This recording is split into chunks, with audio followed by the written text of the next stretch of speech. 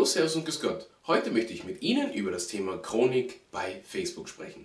Wie Ihnen sicher schon aufgefallen ist, kann man seit kurzem die Chronik aktivieren. Und das sieht so aus.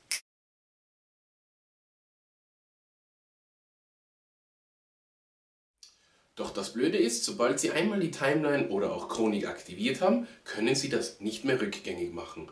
Und somit hat das jetzt schon zu einigen Beschwerden geführt, wie kann man seine Timeline oder besser gesagt sein Facebook-Profil wieder zurückstellen, dass es so aussieht, wie es damals war. Ich werde Ihnen heute zeigen, wie Sie das machen können. Das einzige, was Sie dafür brauchen, ist zuallererst den Browser Firefox und ein Add-on, was sich User Agent nennt. Wie Sie das ganz genau machen, zeige ich Ihnen jetzt.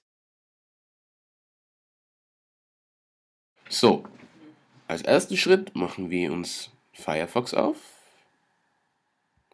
Und hier seht ihr schon mein Profil. Im zweiten Schritt müsst ihr euch die Add-ons aufmachen, also da gibt es auch diesen, die Tastenkombination. Oder ihr geht einfach auf Extras und Add-ons. Und geht bei Add-on Suche, gebt ihr einfach User Agent Switcher ein, dann auf Return, dann wird dieser gesucht. Ich habe ihn logischerweise schon und habe ihn schon hier, habe diesen auch schon aktiviert.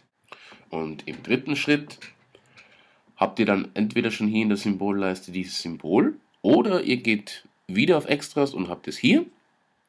Müsst dann im Endeffekt auf Internet Explorer 7 und sobald ihr das eingestellt habt, dann die Seite einmal aktualisieren. Und dann habt ihr nahezu wieder euer altes Profil. Der einzige Unterschied ist, dass alles ein bisschen weiter nach unten gerutscht ist. Aber sonst hat sich eigentlich nicht viel geändert und ihr habt euer altes Profil zurück. Na, hat es bei Ihnen funktioniert? Ich hoffe schon. Falls es nicht funktioniert haben sollte, bitte nutzen Sie doch gleich die Kommentarbox hier unten oder schreiben Sie uns auf Facebook und wir helfen Ihnen gerne. Ich hoffe, Sie haben nun wieder Freude mit Ihrem Facebook-Profil. Wenn dem so sein sollte, dann bitte leiten Sie doch das Video weiter und klicken Sie auf Gefällt mir. Und wie immer gilt, mehr und mehr Kommunikation. Bis zum nächsten Mal.